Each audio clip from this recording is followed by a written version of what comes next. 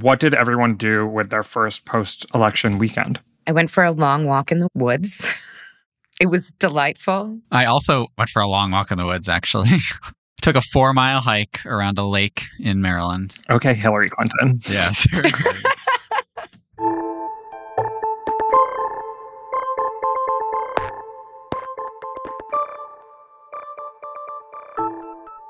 Hello and welcome to the 538 Politics Podcast. I'm Galen Druke. It's been a little less than a week since Trump's victory, and the narrative building and finger pointing about what led to his win and what it means for the country is going strong. So today, we're going to do a hot takedown. I've got a list of hot takes that have been making the rounds, and we're going to see how well they hold up to scrutiny. Have Democrats abandoned the working class? Did the polls fail? Also, the election is still not over, so we're going to talk about where things stand down ballot. As of the time of this recording, Republicans have flipped the Senate with 52 seats projected for them.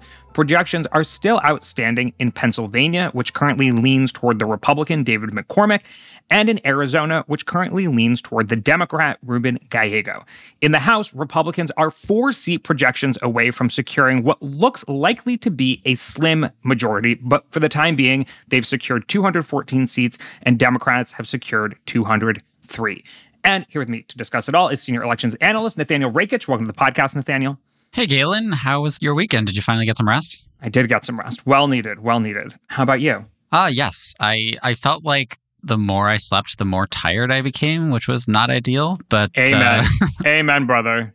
I don't know how it works, but also here with us is senior researcher Mary Radcliffe. Welcome to the podcast, Mary. How's it going? Are you rested up? Good morning, Galen. Yeah, I had a great weekend. Went for a walk, slept a normal schedule. Didn't look at the polls? Nope.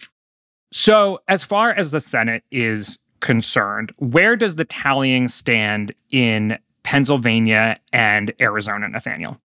As you mentioned, McCormick, the Republican, is up in Pennsylvania, and Gallego, the Democrat, is up in Arizona. I'm fairly confident that both of those will remain the case and that we'll end up with a 53 47 Senate.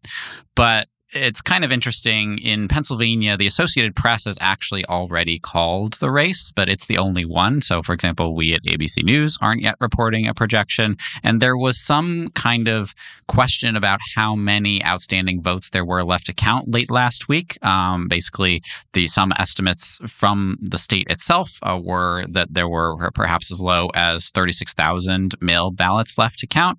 And then the AP called the race, and then the Secretary of State immediately, like within 30 30 minutes, got on Twitter and said, actually, there are 100,000 votes left to count. Um, and so that was a little bit of a, oh, wait, this might not totally be over. But I do want to emphasize that even if it's not callable in the sense that like there's no path for Democrats to come back, it's still very, very likely that the Republicans will flip the seat because even if there are 100,000 ballots and it would take Casey, the Democrat there, to flip a, the vast, vast majority of them in order to to take the lead there. So I'm not betting on that happening. Right now, they're separated by 40,000 votes. Right. Yeah. In Arizona, the race kind of looks close on paper. So it's uh, 50 to 48% uh, between Gallego and Lake. And there are still tens of thousands of vote, votes left to count because Arizona is a mostly vote by mail state and it counts slowly. But most of what is yet to report is expected to be very Democratic friendly. So it doesn't really seem like there is a path for Lake to come back. But we don't want to kind of foreclose the possibility until those votes are actually counted. Mary, if you were a betting woman, where would you bet that the House seat share lands? In the House, I would expect the final seat margin will be something like 220 seats for Republicans and 215 seats for Democrats. So just a five seat difference. Um, there's a number of races out there that are not yet called, particularly in California, although there's several that I think um, we can say are probably going to be leaning toward Democrats. There's several we can say are probably going to be leaning toward Republicans. There's really only a few seats at this point. I think that we don't have a great sense of what's going to happen we still have to wait for uh, a bit more vote counting, particularly in California, before we get those final margins. But I think that we can say it should be somewhere around a five seat majority for the Republicans. Okay, so let's just say that Republicans have 53 seats in the Senate and they have 220 seats in the House. We all know how difficult it has been for Republicans to govern in the House with the slim majority that they had before. This could be just as narrow uh, this time around. But the main difference will be that there will be a Republican in the White House. So, with Trump in the White House, do we expect that he will be able to get his non filibusterable priorities through the House and Senate with the majorities that we've just described? Or is there enough, you know, discord within the House and Senate Republican caucuses that this is going to pose some challenges for the new administration. I would never bet on House Republicans forming a unified front on anything. and it's worth mentioning that this five seat majority is actually going to end up probably getting a little bit smaller because Donald Trump is planning on appointing on a few members of the House to cabinet positions, which makes that even more difficult. I'm generally not confident that that Trump is going to be able to corral all of those Republicans, especially on some of the the priorities that were a little less popular, a little more hot button issues. Yeah, I do think it's worth noting that historically, parties in the majority are more, more cohesive than parties in the minority because when you're in the minority, you can kind of afford, it's not as important to kind of corral every last person. But I do generally agree with Mary that in such a narrow majority, perhaps more narrow than we have right now, Republicans are still going to have real trouble passing things through the House. Mike Johnson perhaps has the hardest job in politics right now, if he even gets to keep that job, which I guess we'll find out early next year. In the Senate, I think there's a little more leeway. 53 seats, assuming that's where we turn out, is kind of in between a what I would call like a comfortable majority and a kind of dicey one. So, for example, Susan Collins and Lisa Murkowski are just two people. There are a couple of other Trump skeptical senators out there, like Todd Young and Bill Cassidy, who maybe if the four of them joined together, they'd be able to defeat some of his cabinet nominees but they would all have to stick together. So he could afford, Trump could afford a couple of defections in the Senate and still get most of his stuff done. So, you know, I would say that it's not a guarantee. Like if he were to try to appoint Elon Musk to be Secretary of State or something like that, like I don't think that would get through the Senate, but I think most of what he plans on doing would probably be able to pass the Senate. It's the House that he has to worry about. So this will all become clearer in time. And I will say that for what it's worth, Democrats had a very slim majority when Biden took office in 2021. And sort of the pressure, the bully pulpit of the White House and the sort of pressure from rank and file voters and all of that served alongside Nancy Pelosi's leadership to form a somewhat cohesive Democratic Party, even in the face of really slim margins. And so, I mean, I don't think it would be shocking if on some of the big priorities for Republicans, they were able to replicate that. That will all come with time. Right, exactly. And I think it's worth noting that Republicans have one of those things, which is a president in the White House that they want to deliver wins for, but they don't have the other, which is Nancy Pelosi's strong leadership. She really, like the numbers bear this out, she was extraordinarily effective at corralling her caucus in a way that Republicans haven't been. So I, that's why I think I'm kind of expecting maybe Republicans will be a little more functional than they were last Congress, but I don't think they will be as functional as Democrats were under Biden. Okay, back to the results for a second. So Democratic Senate candidates clearly outran Harris in the battleground states. Outran her by just a couple points in the Midwest, but by more like six or seven points in Nevada and Arizona. Why? I mean, I think at this point we we won't be able to say exactly why uh, any particular outcome happened until we're able to get full data and and more polling and things like that, talking to voters about the decisions they made changes down ballot tend to lag changes at the top of the ticket. So if you look at, for example, the southern part of the United States that used to consistently vote for Democrats, when it started shifting red, it shifted red at the presidential level first, and then down ballot seats sort of followed years later. So there may be a lagging indicator there of some realignment among some voters there may also be a situation where certain voters maybe weren't happy with the Biden administration, weren't happy with the leadership of the Democratic Party, but do still consider themselves Democrats and were willing to cross party lines just on the presidential level. I will also note that we saw a significant number of ballots that had voted for Trump and nothing down ballot, just didn't vote at all down ballot, which might be a big flashing warning sign for Republicans in the future if you've got voters that are only showing up just to vote for Trump and then don't care about any of that other stuff. That could be a problem. I think in Nevada it was like 60,000 voters cast a ballot for Trump and then just didn't even vote for Senate. Yeah. And uh, that's going to be a big part of how Jackie Rosen managed to hold on to that seat. Yeah, to put some numbers on that, I was just looking that up. I think it's a really important dynamic. So Jackie Rosen got 47.9% of the vote. Kamala Harris got 47.5% of the vote. So they basically ran exactly even. Trump got 50.6% of the vote. Sam Brown got 46.3% of the vote. So there's that kind of drop off just on the Republican side that you're talking about. We should say in other states like Arizona, you did see the Democratic Senate candidate Ruben Gallego so far is running uh, significantly ahead of Kamala Harris. Harris. Uh, he's at 50%. Harris is at 47%. So it's not just that. But yeah, I think it's a combination of some voters who were mad at Biden and wanted to send a message and you know think that Trump is the guy to shake things up are just loyal to Trump and not necessarily loyal to Republicans down the ballot, which I completely agree with Mary is a bad sign for the Republican brand when Trump isn't on the ballot in 2026 and 2028. But then I also think there's kind of the same dynamic we've been talking about for a while in this cycle when we were kind of commenting on polls of Democratic Senate candidates being stronger than uh, than for Biden and then eventually Harris a lot of those Democratic Senate candidates are stronger and Republican Senate candidates are weaker. Uh, and whereas at the top of the ticket, Biden was clearly the the kind of the weaker candidate between the two. One more down ballot question before we get to hot takedown, which is abortion ballot measures. So, in a state like Missouri, Trump won by over 18 points. The abortion ballot measure passed by four points. In Florida, Trump won by 13 points. And while the measure didn't reach the required 60% threshold, 57% of Floridians voted for the abortion ballot measure we predicted this to a large extent, saying that voters would be able to see the difference and be able to cast a ballot in favor of abortion rights and also in favor of Trump. But does this tell us anything about abortion as an issue going forward? Like Republicans sort of drop it at this point, see that it's popular even in red states, or do Republicans who won despite the popularity of abortion rights try to pass legislation on it?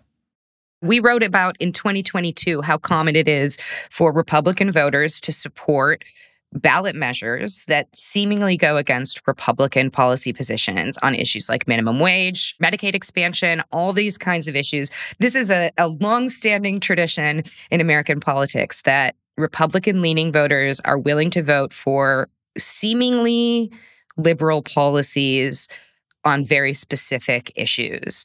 There's sort of a, a priorities question here, right? Voters might be voting for Republicans because of certain priorities, even though they might align with Democrats on other issues that they're willing to express in a ballot measure.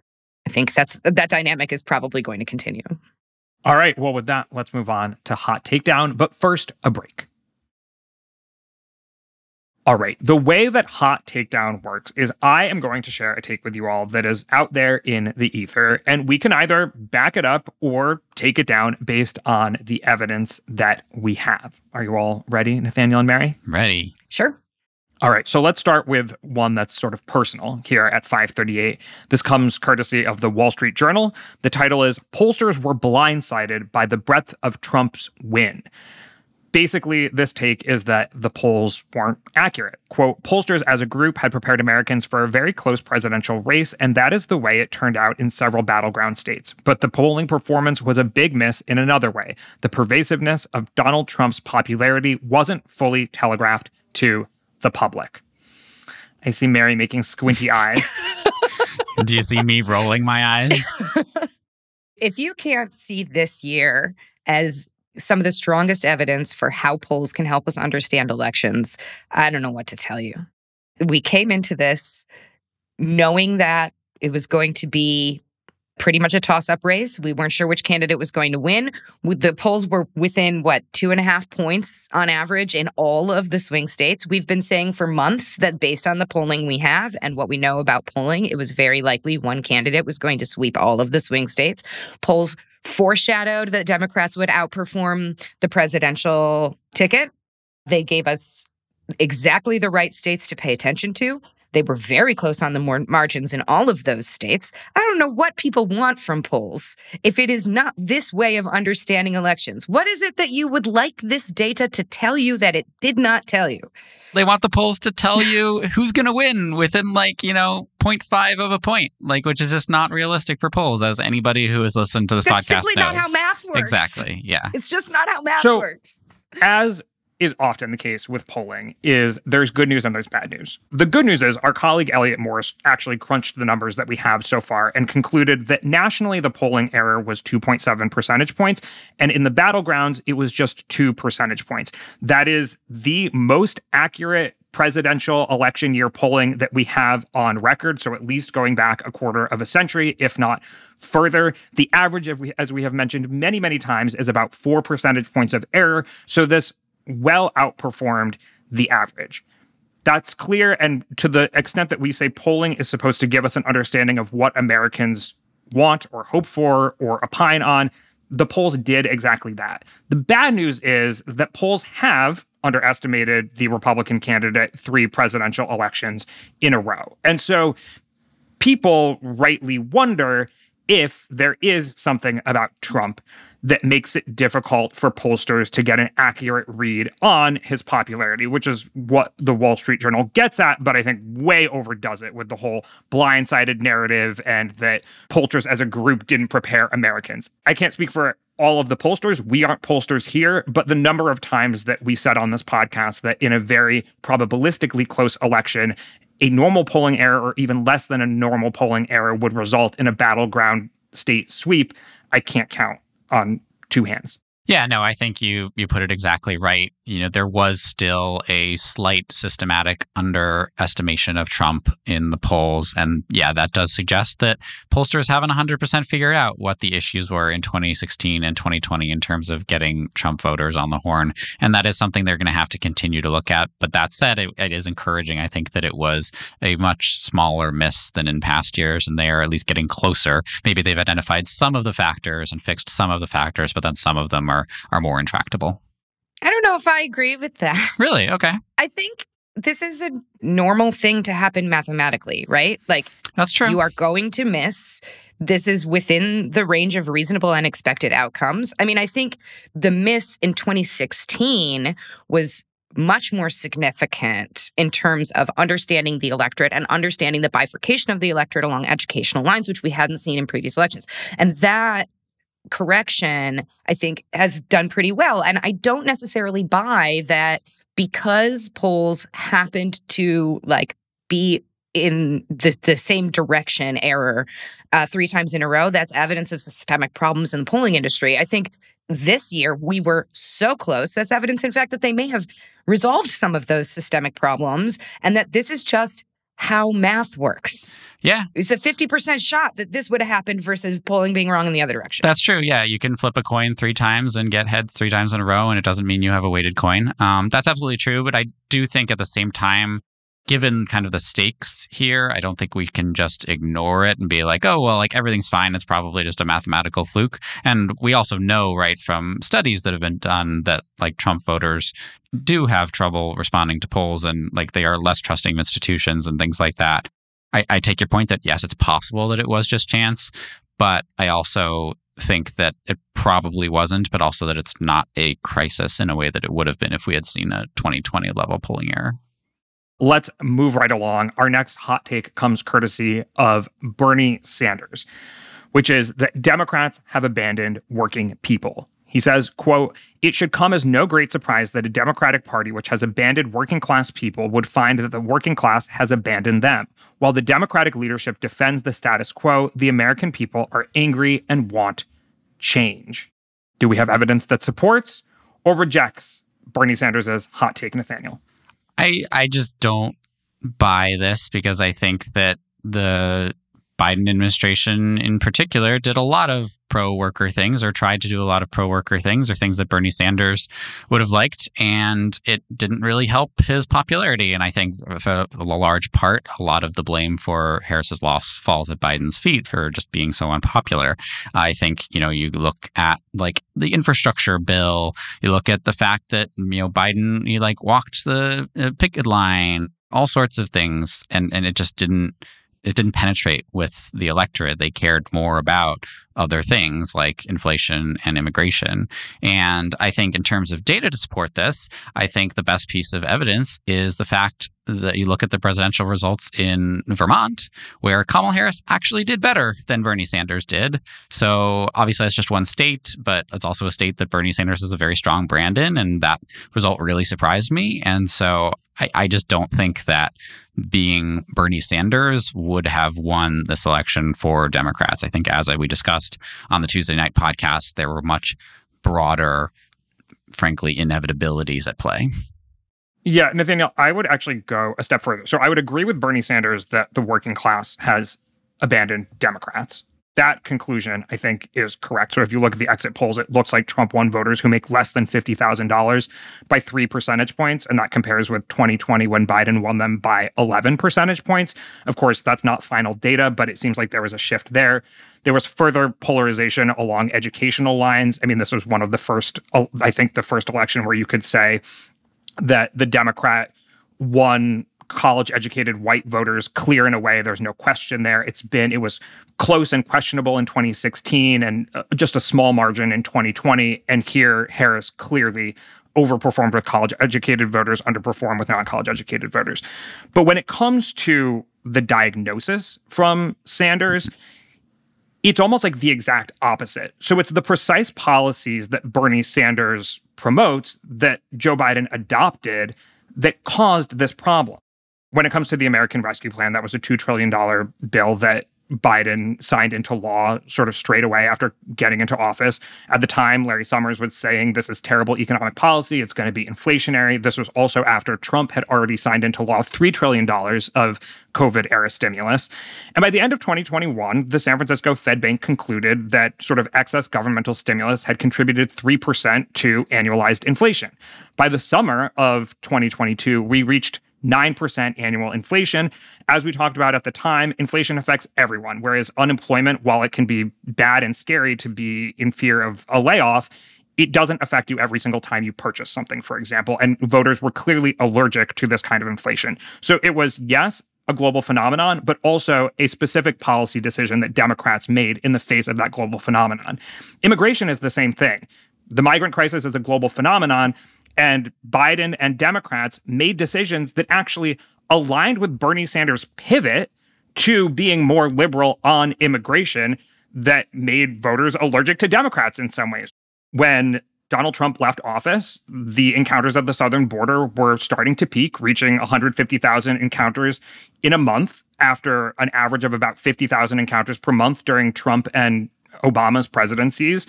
During Biden's administration, encounters continued to be at or above 150,000 per month and then reached a record high of 300,000 in December of 2023.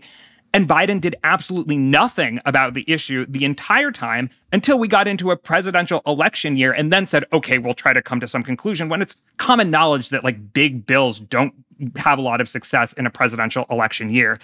Then, after, of course, Donald Trump did what he did in stymieing that, he proved to everyone that he could have done something about the migrant crisis all along because he enacted an executive action that closed the border between ports of entry to asylum seekers.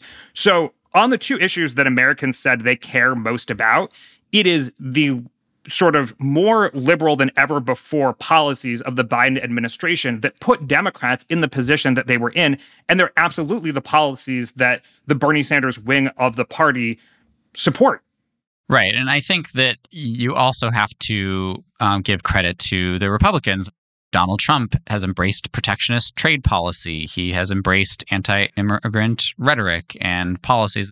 And those are the things that working class voters are looking for. They are not looking for some of the, the things that Bernie Sanders and Joe Biden kind of wish that they were looking for. Well, then let me go to our next hot take, which comes courtesy of, I guess we're going back and forth between which side of the political aisle we're getting our hot takes from. So it was the Wall Street Journal, then it was Bernie Sanders. Now it's Bari Weiss on Fox News. Her hot take is Democrats lost because they ran on, quote, niche cultural issues. She says, quote, it turns out running on these extraordinarily niche issues like gender fluidity or defunding the police don't actually matter, or frankly, feel profoundly out of touch to ordinary Americans. Mary, are we supporting or taking down this hot take? So, first of all, I would love to see an example of a Democrat in 2024 in a competitive race talking about or running ads on trans issues or defunding the police. If she could send that to me, then I would really deeply appreciate it. Democrats did not run on those things. Republicans did run ads on those things about Democrats. There's a point inside here that's worth making. But it's not the Democrats' fault what Republicans say about them. It is the Democrats' fault that they were unable to respond to those critiques in any meaningful way that stood out to voters. If the Republicans are going to lob all these attacks and the Democrats are not going to respond, not going to put those issues out there and be clear about what they stand for and believe in. I think that's a problem for Democrats. I think there's a broader problem here, which is like the view of the Democratic Party is being sort of defined in voters' minds by some of these extreme positions. So that's something that I think is a little tricky for Democrats to get past. On the other hand, I don't really think there were many voters that were like single issue trans issues voters not very many people are probably in that camp. There's probably a handful, but not a lot. So even if the Democrats are seen as extreme on this like relatively niche issue, I don't know if that's going to drive a lot of voters to make up their mind based on that specifically. Right. I mean, we know again from polls what voters care about and what they don't care about. They care about inflation and immigration. They don't care about transgender issues and defund the police or like crime. Like that just doesn't rank very high as a priority at this particular point in terms of voters' uh, issues. I would still question whether all those Republican anti-trans ads actually were responsible for their win. I think it was again these much broader structural factors. Okay, so let me pose this to you then. A post-mortem by Democratic polling firm Blueprint did find that cultural issues were among the reasons voters gave for not voting for Harris, although the economy and immigration were bigger factors. So they tested different messages. The number one issue is inflation was too high under the Biden Harris administration, far and away you know, by a 24 point margin. That's what folks are saying. Then, second is too many immigrants illegally cross the border under the Biden Harris administration. That matches inflation almost exactly. We've already talked about that. Then, Kamala Harris is focused more on cultural issues like transgender issues rather than helping the middle class. They also concluded that for swing voters who eventually chose Trump, so maybe late deciding folks or people who had not necessarily voted for Republican in the past, for those people, cultural issues ranked slightly higher than inflation. So I don't know if we can totally conclude based on the evidence that the cultural issues don't matter. But I do think this gets at the cultural cleavage that Bernie Sanders is describing. I mean, once again, even if the prescription isn't necessarily right, but the whole, you know, college educated, non college educated voter divide may come from these kinds of cultural issues. Nathaniel, do you disagree with that? Yeah, I mean, I don't think that taking unpopular positions helps a party, obviously. But I also think at the same time that, I don't know, Democrats have done a pretty good job, I would say, of distancing themselves, for example, from defund the police over the last four years. Like, that's something they have actively run against, I would say. And I think it has at least neutralized that as a factor against them. I think, you know, there was a tweet from political scientist John Sides who noted that some of the wording in that blueprint study was, you know, a little bit leading because you know saying you know Kamala Harris is focused more on cultural issues like transgender issues rather than helping the middle class is that's something that I think that's easy for swing voters to agree with. I'm open to that I guess, Galen, but it's also it's early. We're going to take a lot of time to to dig through these results and, and see. I think also we just can't stress inflation enough. Yeah. In some ways, inflation plus the Im- immigration double whammy. Yeah, I mean, and we've talked about this before, but this is like the thing we've been seeing globally, right? Uh, exactly. Around the world, that in- incumbent governing parties, regardless of which side of the aisle they they fall on or where on the political spectrum they fall, governing parties have been punished around the world this year. So this brings us to then a hot take. I don't know if it's a hot take. It's a very database take from John Burn-Murdoch, who's been on this podcast before. He's at the Financial Times. And he wrote the incumbents in every single one of the 10 major countries that have been tracked and held national elections in 2024 were given a kicking by voters. This is the first time this has ever happened in almost 120 years of records. And then he charted the vote share, the loss of vote share for all of these major parties, and concluded that the US Democrats had almost the best performance globally in 2024 of any incumbent party. Good take. Yeah. yeah, I think this goes to the fact that Democrats did about as well as they could with the hand that they were dealt, I think. Well, hand that they were dealt and hand that they dealt themselves, Nathaniel. Sure, that Biden, I should to be more precise, I guess that Biden dealt them. But the fact that they decided not to run Biden uh, was, I think, in retrospect, a good one. I think Harris ran a strong campaign. I think a telling stat along these lines is that in the battleground states, Harris ran about three points behind where Biden ran in 2020, uh, which obviously wasn't good and it was enough to lose the election, but you know, it's not a horrible performance. In other states, she ran about six points behind Biden's 2020 performance on average. And I think that goes to show that kind of when you take the control environment of no campaigning and no kind of messaging, there's a lot of drop off. There was a lot of dissatisfaction with Democrats, uh, and uh, Harris was able to mitigate that somewhat in the swing states. So that's why I basically don't think that much, if any, of this loss can be laid at Kamala Harris's feet, and why I think that Democrats aren't doomed as a party going forward. I don't think their brand is is doomed, uh, you know, to oblivion. I think that also shows that Donald Trump is still a flawed candidate and a flawed messenger in the Republican Party as well. Um, we still have two parties that are unpopular among the American people. I think Gallup's like favorability numbers for both parties were were underwater at last measure. So I think that uh, John Burn-Murdoch's take is a good one. Well, perhaps this leads to the next hot take, which is one that Trump made himself, and you'll hear plenty from his allies, which is that he has a quote, unprecedented and powerful mandate. This is what he said in his victory speech. And of course, mandates are always a hot topic for political scientists in the wake of presidential elections because how election results get interpreted by the public are almost as important as what the actual elections results are. This is why we're doing this sort of hot takedown exercise around narrative building. So, unprecedented and powerful mandate. Mary, yes or no?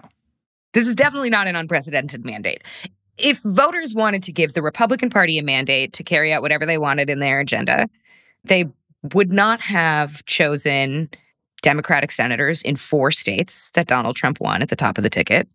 They would not have chosen Democratic representatives in in what will be something like 215 seats in the House of Representatives. A mandate would need a lot stronger majorities. I mean, I think ultimately the results of this election show what has been true basically since Donald Trump stepped onto the American political scene, which is that this is a divided nation and it still is. Would you say that he has a mandate on certain issues? Would you say that he has a mandate on immigration, for example, or tariffs, where polling suggests that Americans either agree with him or have come to agree with him after previously not agreeing with him there? I mean, because I'm looking at different pollsters have asked Americans about a lot of different policies that Trump has supported. And in general, on sort of trade protectionism and the border and deportations, Americans agree with Trump with outright majorities. But on things like, you know, threatening the independence of the Department of Justice or abortion measures or lowering the corporate tax rate to 15% or, you know, pardoning participants in January 6th or even, you know, sending US troops into large cities to enact public order, those are well underwater. Are they right to say that they have a mandate on part of Trump's agenda? Possibly. After the election, Reuters Ipsos ran a like election reaction survey. And one of the things they asked is whether voters thought it was likely that Donald Trump would do various different things. And some of them were these policy positions that you're talking about, like immigration and so on. And others were sort of not exactly policy, but things like would Congress try to block the agenda? You know, some various collection of outcomes. Interestingly, there was only one thing on their list that when they asked voters, they said it was a majority of over 50% of voters said it was extremely or very likely that Donald Trump would actually do, which was order the mass deportation of people in the country illegally. Nothing else on the list of priorities they asked about, on the list of political outcomes, nothing else had a majority of people saying, yes, I think that's going to happen. So, I mean, when you think about why people voted the way they did, what they what they chose, it seems to me that immigration uh, is the one place where they actually think Donald Trump is going to do what he said and they want him to. Can I just chime in here and say that mandates are made up? they are. That's a great point. They are. They are fake. They are. They are social constructs. Uh, so, as 538 contributor Julia Azari has studied and wrote about for the site all the way back in 2016, there is basically no correlation between like the size of a candidate's victory and like whether they are perceived to have gotten a mandate or whether Congress like is particularly effective at implementing their agenda at, in the next Congress.